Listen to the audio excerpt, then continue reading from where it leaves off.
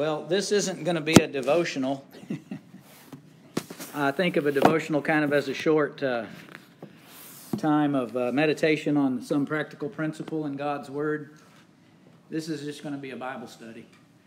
Uh, but I hope it's going to be encouraging and helpful. And it may not be, and that, that's okay because it may not be something that uh, turns your gears. I don't know but it's really something that I find to be fascinating.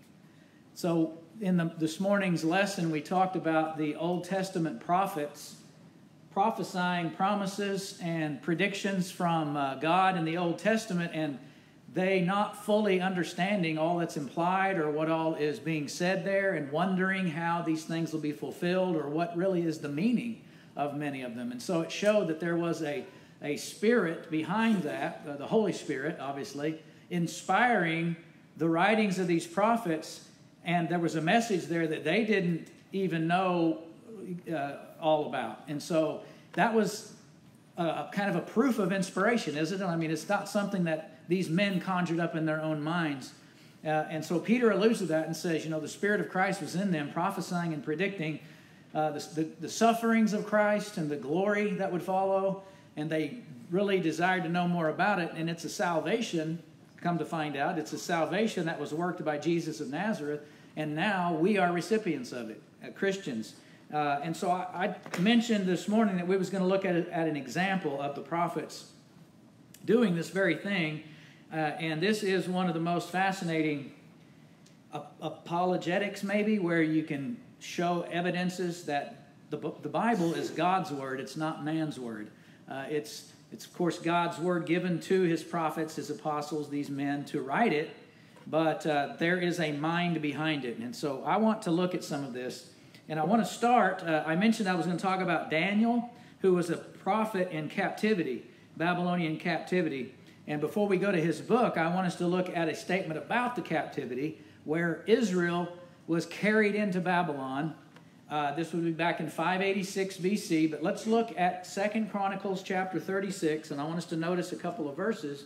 And then, if you can, if if, if you want to follow this, uh, I'm not not going to get too tedious, but I am going to explain some of this stuff in a way that if you wanted to write these down and look at them later, and you'll see how it fits together so wonderfully well, uh, and I, and and, uh, and hopefully you'll see the excitement in it that that I believe you will.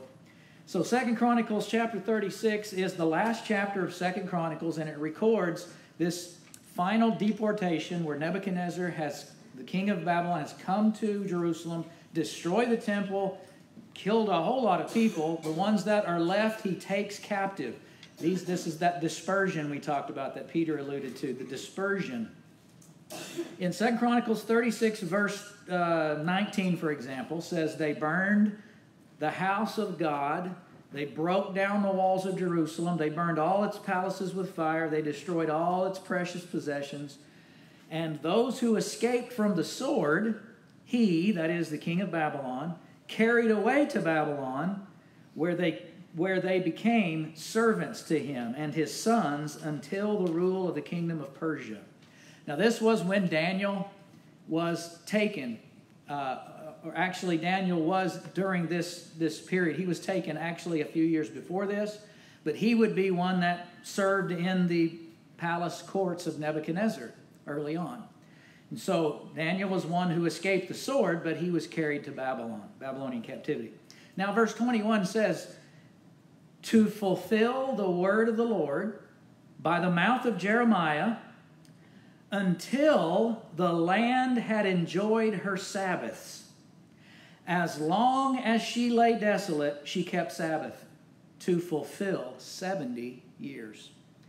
Now, we're going to look at Jeremiah in a moment, but Jeremiah predicts that Babylon is going to carry you into captivity to Babylon for 70 years. So, Daniel writes this, he makes this prediction, and that's what's being alluded to here. But what, what I want us to note, it says that it was to fulfill the word of the Lord until the land had enjoyed her Sabbaths.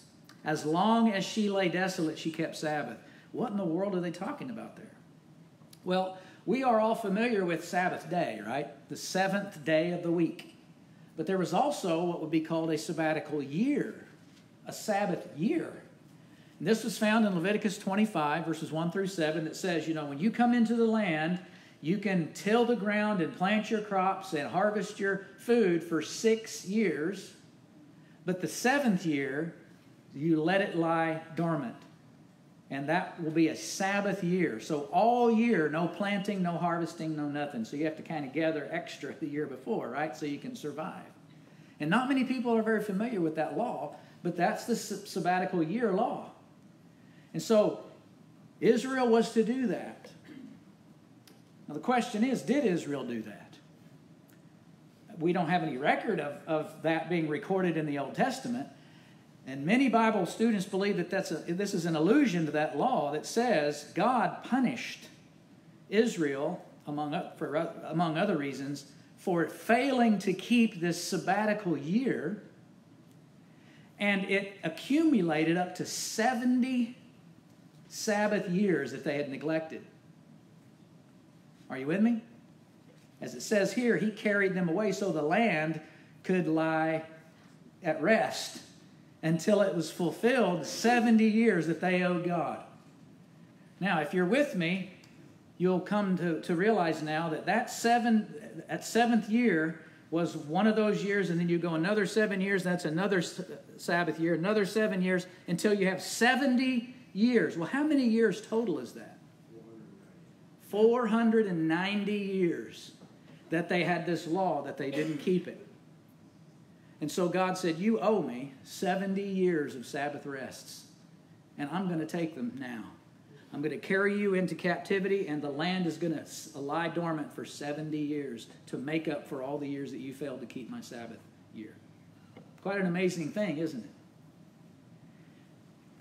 Now, there's more to it. We turn quickly to Jeremiah chapter 20. Uh, is it 6? No, Jeremiah 29.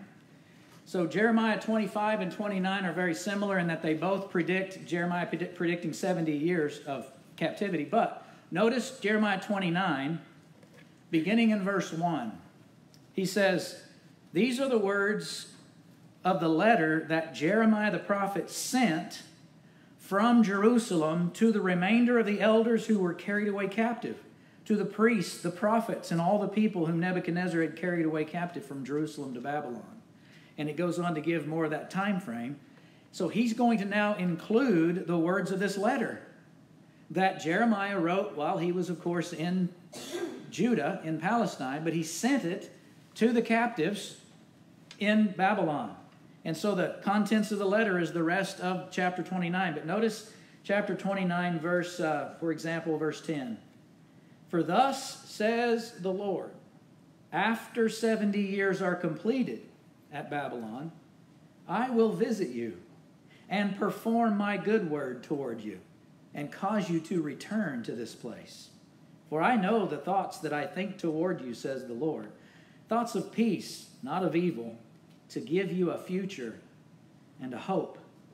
Then you will call upon me and go and pray to me and I will listen to you. You will seek me, and you will find me when you search for me with all your heart. I will be found for you. Found by you, says the Lord. I will bring you back from your captivity. that's a that's a nice message there, isn't it? Finally. You're thinking of all of the destruction and all the suffering for so many years, and God says, But I'm going to bring you back. After 70 years, I'm going to bring you back. Well, we turn now to Daniel chapter 9. One of the prophets that was a recipient of this letter of Jeremiah was Daniel. In Daniel chapter 9, we read in the first year of Darius, the son of Ahasuerus, of the lineage of the Medes, who was made king over the realm of the Chaldeans, in the first year of his reign, I, Daniel, understood by the books the number of the years specified by the word of the Lord through Jeremiah the prophet, that he would accomplish 70 years in the desolations of Jerusalem. Now, this is fascinating to me because Daniel is having a Bible study. He's reading the scriptures. And when it says, I understood by the books, in the Septuagint translation, that word is biblia. That is to say, He's reading and understanding by the Bible, so to speak. That's where we get our word for Bible. But it says there were a number of years that were specified by the word of the Lord through Jeremiah that he would accomplish 70 years. So Daniel, seeing what this prophet said and reading the very same letter we just read out of Jeremiah 29, that God says, after 70 years, I'm going to bring you back. And I'm going to, I have plans for peace and your prosperity, and you're going to call on my name. I'm going to listen to you. I have great plans for you. You're going to search for me and you're going to find me. And then things are going to be restored, right? That's the idea. That's the good news and the promise. So Daniel just reads Jeremiah and says, and then he looks at the calendar and he pulls up his iPhone and he says, Wait, we've been here for 70 years. He knows, doesn't he? He knows when he went over there in 606. And now it's 536. And he's saying, it's time to go home. And what did Jeremiah say? You turn and you pray to God. And it says in Daniel 9, verse 2, uh, verse 3 Then I set my face toward the Lord God to make request by prayer and supplication with fasting, sackcloth, and ashes. And I prayed to the Lord my God and made confession, and I said, and he then enters into this long prayer that lasts for several verses, confessing the sins of his people, begging for God's mercy and forgiveness, and telling the Lord to bring us home now so that you can fulfill your great promises. To me, that's a fascinating thought of what's going on over there. Daniel trusts the word of the Lord through the prophets. Daniel reads the Bible, he understands these things, and now he's acting in accordance with it. And so he ends his prayer about verse 19 that says, O Lord, hear. Oh Lord, forgive. Oh Lord, listen and act. Do not delay for your own sake, my God, for your city, your people are called by your name. That's the end of his prayer. And the rest of the story is this that Daniel himself now receives a revelation.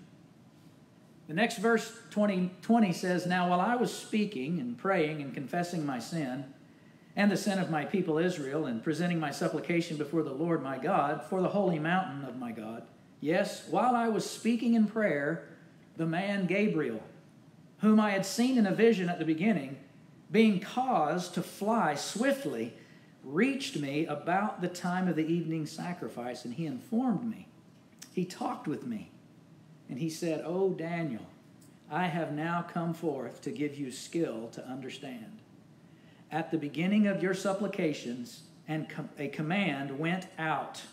And I have come to tell you, because you are greatly beloved. Therefore, consider the matter and understand the vision.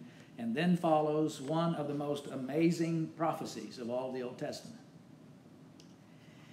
So, Daniel is now receiving further prophecy about God's great promises that he has in store for his people. Now, it's not fully revealed. It's still a little bit clouded, and Daniel is still an Old Testament prophet.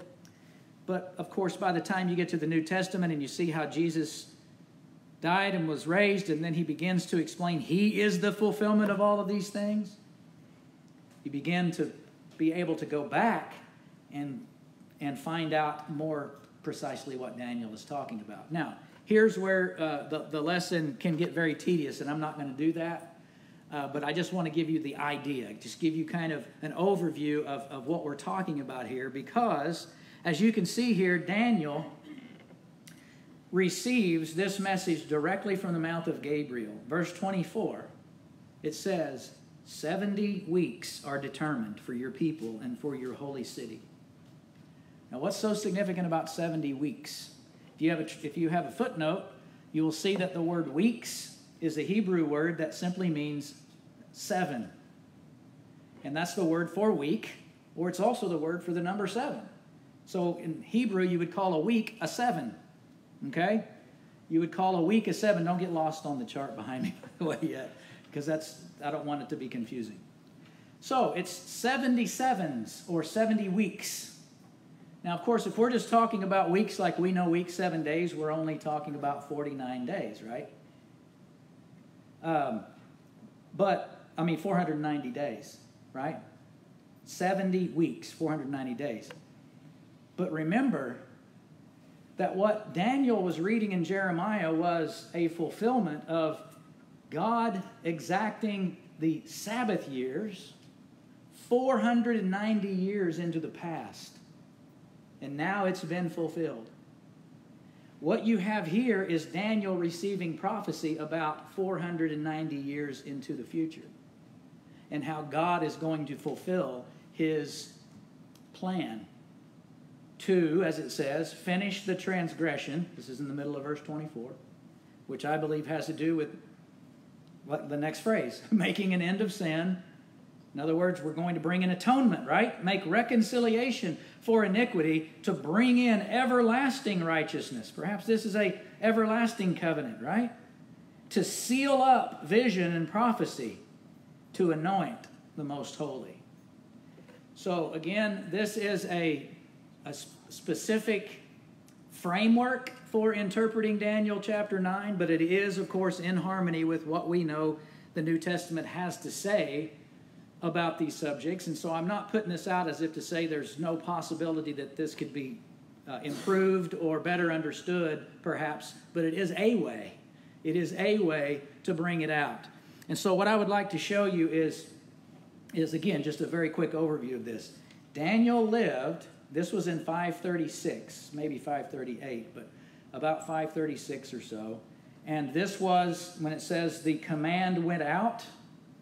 Many people believe this is probably connected to the decree of Cyrus, where he did command that the Jews can now return back to their homeland.